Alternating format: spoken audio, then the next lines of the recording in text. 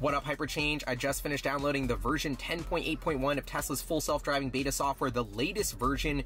We're gonna go through downtown Seattle. Potentially what people are saying is like one of the most tricky situations for this uh, self-driving car technology to navigate. Tiny streets, lots of weird little street signs. Um, it's actually rush hour in Seattle. It's just like, I'm just like, why not? Let's try it out and see how FSD does and just see how we're doing here on the front lines. I'm getting some heat online for being like, people think I'm critical. I don't know, I'm just trying to get my honest take on the software. Um, it's not perfect. This is still beta. It still needs a lot of work, but it is incredible technology. Um, so I'm hyped to just take y'all along with me and see how the latest version does. Let's roll.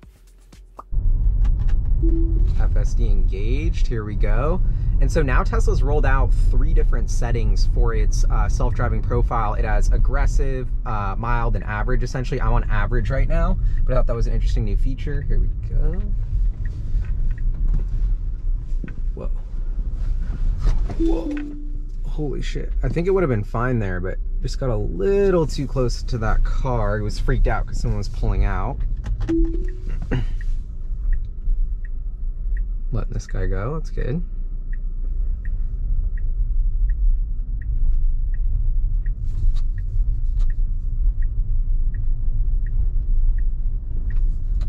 And I'm gonna try and have some of this uh, footage unedited so you can really just get feel like you're in the car with me here. Okay, sees that pedestrian, great. But now this guy's going. He was super aggressive. Okay, I'm gonna give us some juice to make sure we hit this.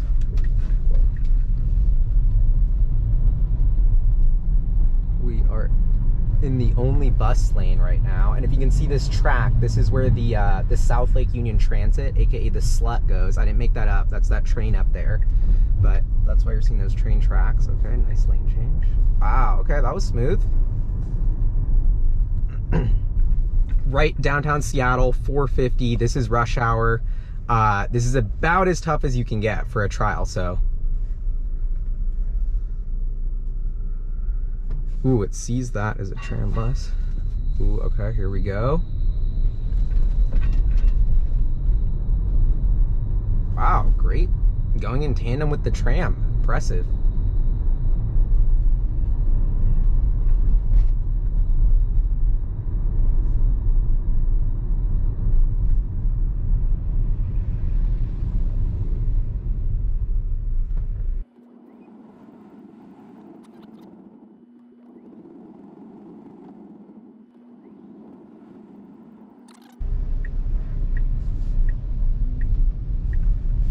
nice turn there. All right, I'm disengaging on purpose and I'm gonna take us on the monorail test really quick.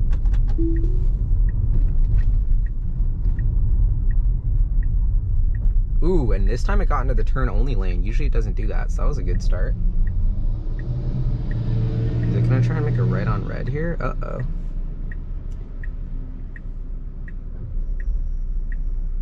Wow. Is it doing this?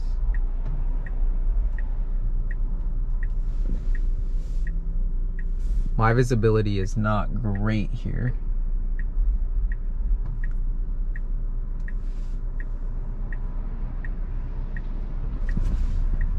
Wow, right on red. Ooh. I disengaged it there, but I didn't actually turn it, so it did everything itself. Wow, now it's doing great. Um, now let's see if we can do this lane change.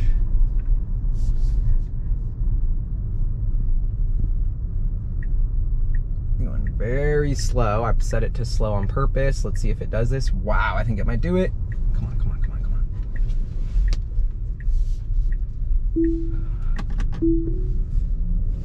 on. Disengaged on accident there. It's gonna try again. Let's see what it does. Whoa, whoa.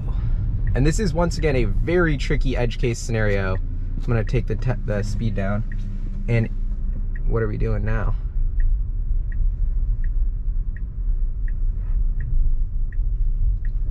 Oh man, this is ridiculous. What is it doing? This is... I mean, this is one of the weirdest streets ever. And now we have this added, like, construction going on over here. Oh, wow. Is it gonna do it? Oof. Okay. It was turning back. All right, this guy's like, what the hell are you doing, Gally? Okay. Monorail test fail. Um, so that's the monorail test. I don't know. That was a tricky one though. Um, but now let's see if I can get it. I'm gonna navigate us to Capitol Hill.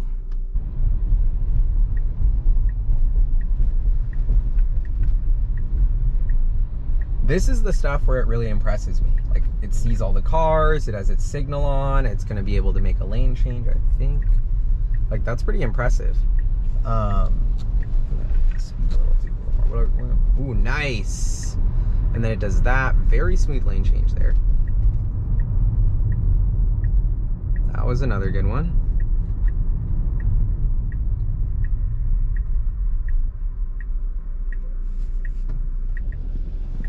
Waiting for these pedestrians to go. Classy move.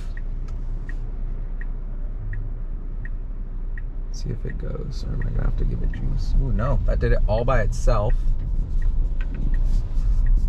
Ooh, nice. And it did, it has almost hit that barrier once before, so it didn't hit it there. But this is when I talk about why I'm I don't use FSD all the time, it's because of like a turn like that, for instance, where it's like there's a lot of headaches, there's a lot of swerving, like it gets close, but like it was safe, it was moving slow, it was fine. It's just it's just not convenient to use because you're always kind of stressed about will it mess up there, will it wiggle, is it why is it doing that? And um I don't know. I just don't I at the end of the day, um, and this is why some people are hating on me, but I'm okay with it. But at the end of the day, like I just don't engage it all the time. Like I just don't really use it that much because um, I'm worried it's it's gonna mess up, and I'm just not.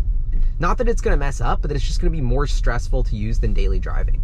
So, and th- this is me trying to give it a review for you you all watching, and for Tesla of like the galley super cautious, boring driver you know, what is my review of this technology and software? And I think that's super important because we were talking about going beyond a couple thousand Tesla fans who are super nerdy and give Tesla the benefit of the doubt of everything. We're talking about bringing this technology to the mainstream, to the masses. You know, see that's like middle intersection just kind of stops there because this guy's in two lanes. Now I'm giving it juice to my foot. Um, but yeah, I just think this has a long way to go before everyone is comfortable letting the car drive themselves, let, let, letting the car drive itself at all times. I think my biggest scar from doing all this FSD testing and videos is when it takes a turn too tight and it's curved my rims. Because if you if you've been watching my FSD video, you know it's curved my rims a couple times.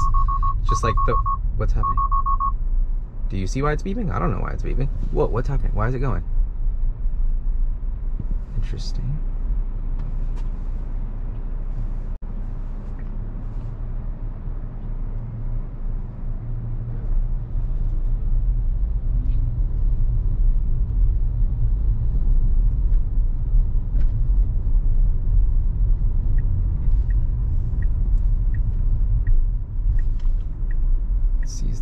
Biker right here. Like, why is it not in the lane?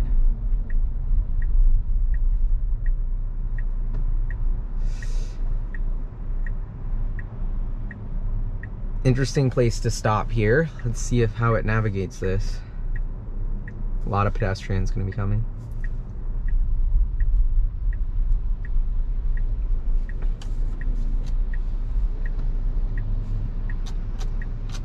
taking that speed down. Okay, now it should go.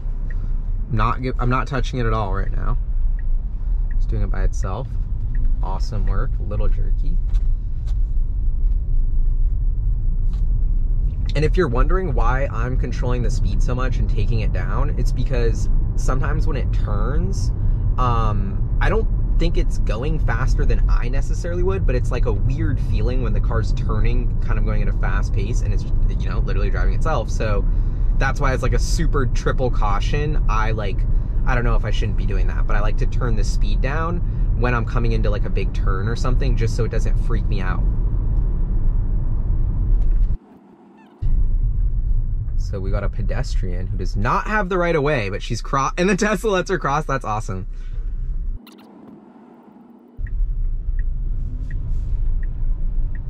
See, I'll leave it at 25 here for this turn. Let's see how it does. Whoa. Okay, nice. Did it.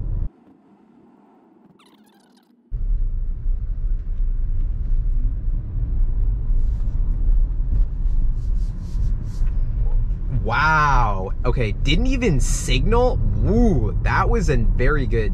Damn. Okay, that felt very smooth and human-like. That was like exactly what I would have done in that situation.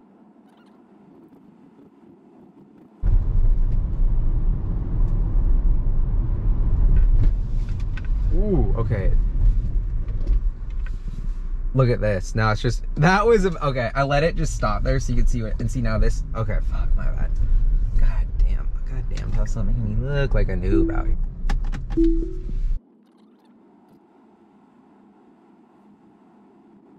Insanely tricky left. There's a shitload of construction here. I don't know what's going on.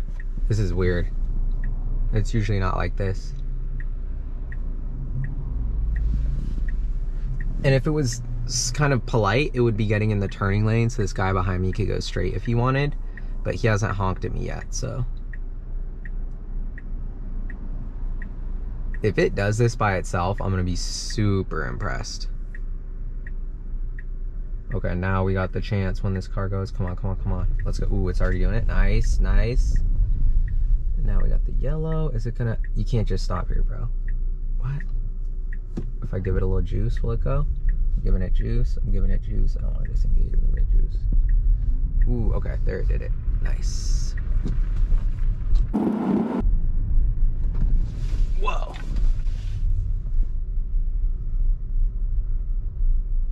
Like that. Okay, damn. Maybe that whoa was a little dramatic, but it just like shouldn't have braked right there because there was. I don't know why. It just caught me by surprise. Okay.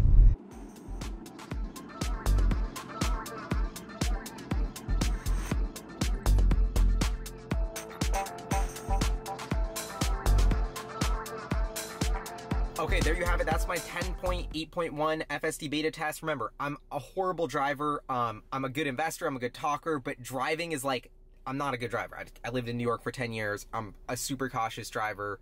Um, so remember that when you're watching my videos, but I'm trying to give y'all the what it's really like to be at the front lines, to be using this as an average consumer. I gotta say, at the end of the day, I'm still trusting myself um, in my driving skills way better than FSD. I still think it's safer. I'm very curious what's going to happen because the big new change for FSD is switching it to a single stack, going from this sort of fragmented approach of city streets, FSD beta, this whole project that's separate from the autopilot FSD, which works incredible, which I'm a huge fan of, which Tesla's built an insane product with their autopilot software on the highway, but this is a different ballgame. And now they're getting ready to merge these two stacks, combine the technology, deploy this at scale.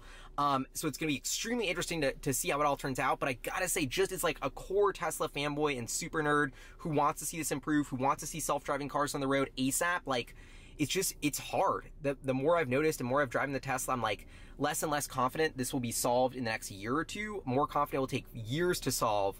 Um, but that being said, I do think Tesla's ahead. I do think they have the right approach in a lot of situations it's useful, but the key for FSD is you got to know when to use it. You got to assume it's going to mess up in certain situations. And at the just end of the day, me driving in downtown Seattle is one of the worst places to use uh, FSD. It's going to crush it in suburbs, in California, in easier spots, but downtown urban areas, that is the march of nines. That's the hardest part of full self-driving beta software, and that's why I'm testing out there. So to show y'all how it is, and it still needs a little bit of work. But that's just the end of the day. This is my review. Let me know what you think in the comments below. What kind of more videos on FSD do you want me to make? Um, what do you your thoughts on the software. Um, would you use this? Would you drive with it um, if you had it on your vehicle? Let me know. See you all next time. Peace.